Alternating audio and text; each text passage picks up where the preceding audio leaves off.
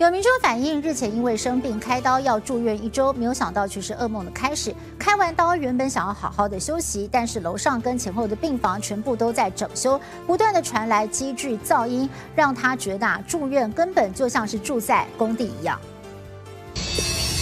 医院的病房内不断传来施工机具声响，吵得病人根本无法好好休息。